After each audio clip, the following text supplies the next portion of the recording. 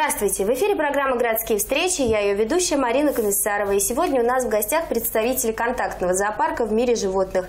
Дарья Медведева, экскурсовод, и Владимир Колесников, а, зоотехник. Пришли они не одни, вместе с сурикатом Варенькой и игуаной Гошей. Кто еще представлен в вашем зоопарке? Кого можно увидеть? А, в нашем зоопарке 30 видов животных. Э, многих можно потрогать, погладить, покормить. Э, животные различные, такие как э, змеи, ящерицы, черепахи, попугаи, обезьянка и так далее. А, вы говорите о том, что можно погладить и покормить. Не страшно, допустим, если детки приходят а, прикоснуться к настоящей крупной ящерице или к змее? Или это в сопровождении вот экскурсовода, поэтому вы правильно показываете, как э, это делать, чтобы да. не пострадать? Да, конечно, э, корм продается исключительно э, тот, который в зоопарке. То есть у каждого животного свой рацион, поэтому зоотехники специально балансируют фрукты, овощи, которые продаются в стаканчиках, и все это проходит под наблюдением экскурсовода или администратора зоопарка. Нет никакой опасности, животные все абсолютно спокойны, они э, не дикие, не агрессивные, и, видя еду, э, не бросаются, как бы, поэтому можно не боясь даже малышам разрешать покормить животных и потрогать. В частности, вот эта э, еда, которая на месте, да, сформирована уже, а, гарантирует, что и животные не пострадают от какой-нибудь пищи, которая да. им не подходит. Да, да, потому что э, все-таки еду, так скажем, с улицы мы запрещаем проносить, и э, многие пытаются покормить печеньками, это категорически запрещено для экзотических животных. Они едят только фрукты и овощи, поэтому корм можно приобрести только в зоопарке. А, в, у нас город крупный, но зоопарка своего нет, поэтому вот такие контактные зоопарки – это для многих э, детишек а, зачастую единственная возможность прикоснуться к миру живой природы, а, Каково это быть экскурсоводом и рассказывать детям о том, что они могут видеть только по телевизору чаще всего?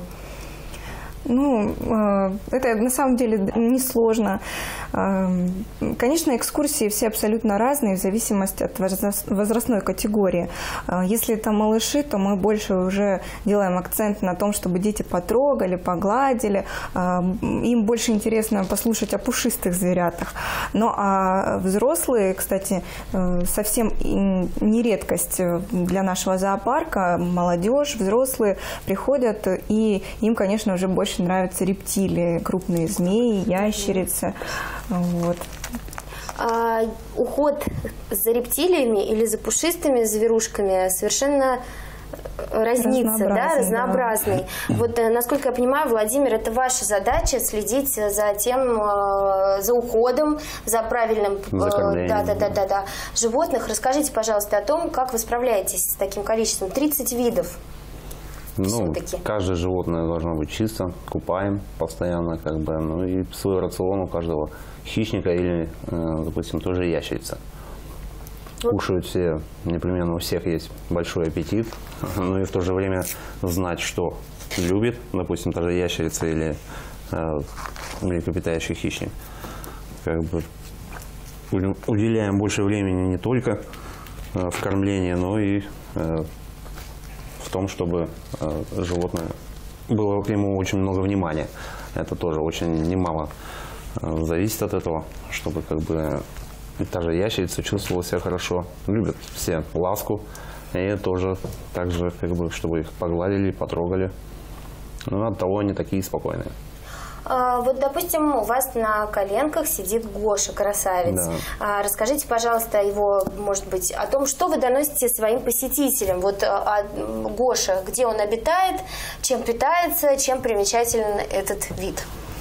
Ну, чаще всего посетителям интересно слушать то, как э, они питаются именно в домашних условиях и э, где проживают в дикой природе.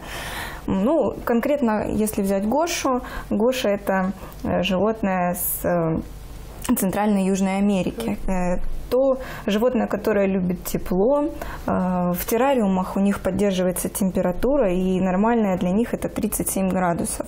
Э, и вот То есть при... здесь он у нас сейчас мерзнет, возможно? Ну, ему не сказать, что особо комфортно, угу. да, но от человека тепло издается, поэтому ему спокойно.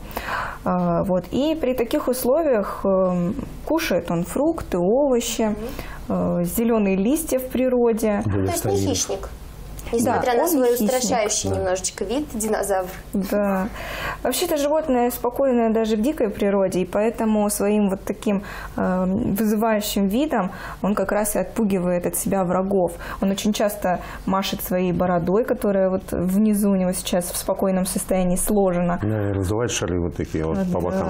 Вот... А это можно увидеть в зоопарке? Бывает да, такое, что да. Бывает, да. он очень часто это делает. свои способности. Да, показывает. Так как это самец, он э, очень часто именно э, специально это делать, не столько напугать, сколько показать э, свое эго. А краска и размер, вот это типичное для представителей или бывают крупнее или... или... Да, он у нас молодой, ему угу. сейчас э, всего лишь 6 лет. Это немного, так как э, игуаны в домашних условиях проживают 12-15 лет, э, в дикой природе чуть меньше, и размеры, соответственно, тоже бывают намного крупнее. Встречался такой вид, который до двух метров вырастал. Как видите, у него очень длинный хвост, и угу. это тоже не просто так. В природе они дерут дерутся своим хвостом. И благодаря такому длинному хвосту они отлично плавают. А лапки, чтобы лазать, я так понимаю, да? Да. Ну, живут в основном на деревьях, редко слазят. А здесь у нас представитель совершенно другого да, где обитают сурикаты. Вот она такая ласковая лежит, э, при, приласкалась к вашей руке, практически ручная Варя. Да. А в дикой природе они как себя ведут? И возможно ли приручить совсем дикого суриката? Ну, э, вообще сурикаты, в отличие от мангустов, они, да, очень легко приручаются, и люди их очень часто заводят дома. Э, так как это семейство мангустов, следовательно, можно понять, что это хищный зверь. И в природе он может нападать даже на ядовитых пауков, скорпионов, ящериц и так далее. То есть, ну, такое, ну, достаточно агрессивное животное. Нету чувства страха. Да. Чувство страха отсутствует? Да. То есть они вообще в природе большими семьями живут. Варя у нас еще молоденькая, поэтому самца у нее нет.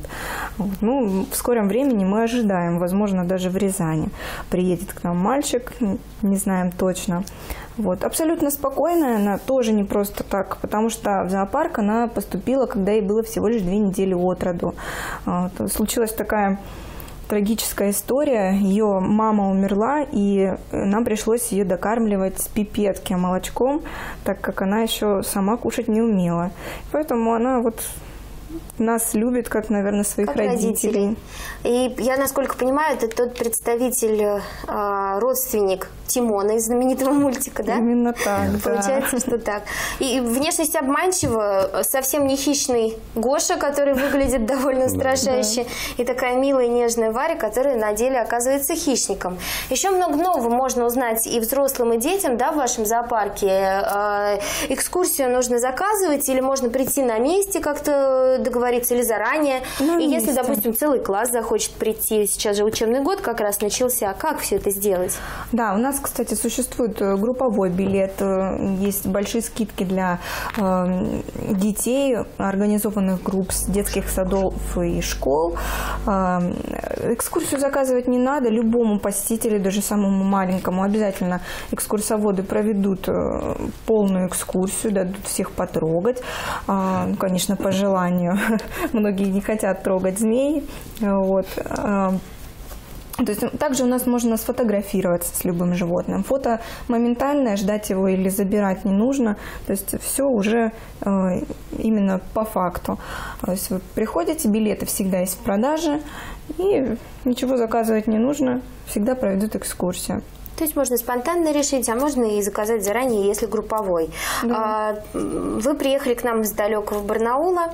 Где расположились и как долго пробудете в нашем городе в гостях? А, расположились мы в торговом центре М5 Мол.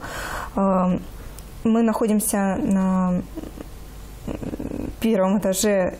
Третий выход? Третий выход, да. Угу. Сразу, то есть мы прям вот на входе, нас видно, не, не пропустите. Как долго можно будет вас посетить, чтобы никто из заинтересовавшихся, скажем так, не упустил такую уникальную возможность? А, мы пробудем здесь до 15 октября включительно. Угу. Работаем мы ежедневно с 11 до 8, э, без выходных, без перерывов.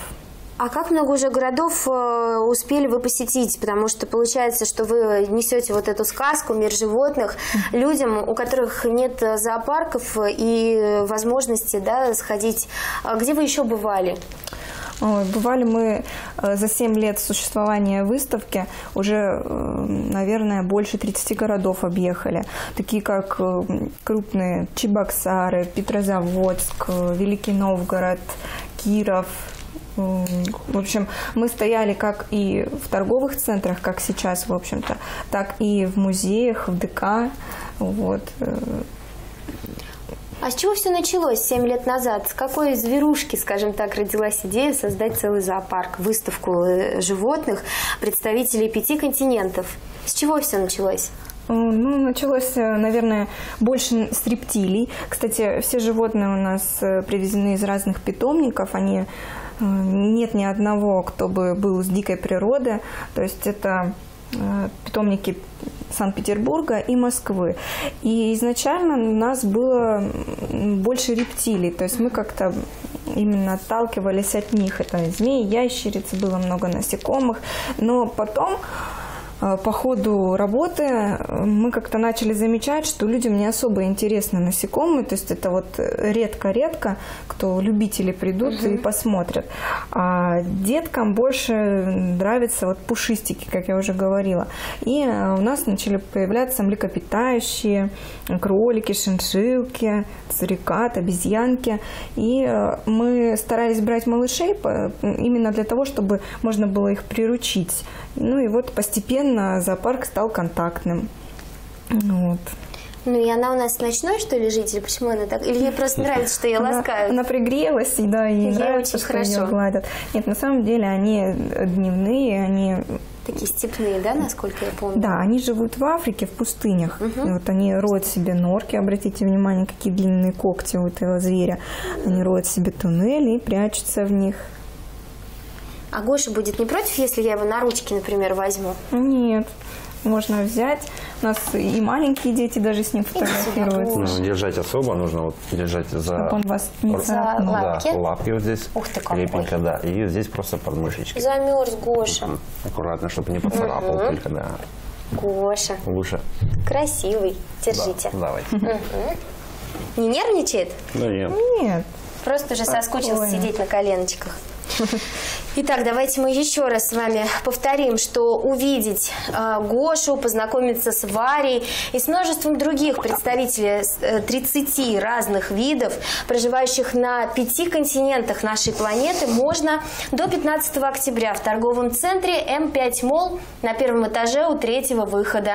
Или можно связаться, чтобы уточнить интересующую вас информацию по телефонам, которые сейчас назовут Дарья.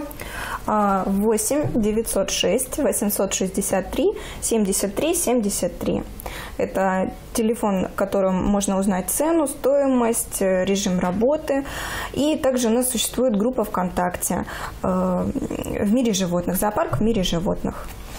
Обращайтесь, спрашивайте, интересуйтесь и не пропустите уникальную возможность до 15 октября познакомиться с представителями пяти континентов и побывать в мире животных. Спасибо вам, что были у нас в гостях. Спасибо Варе и Гоше. Вам, Дарья, и вам, Владимир. Спасибо. До свидания. До свидания. Всего доброго. Я прощаюсь с вами до следующих выпусков.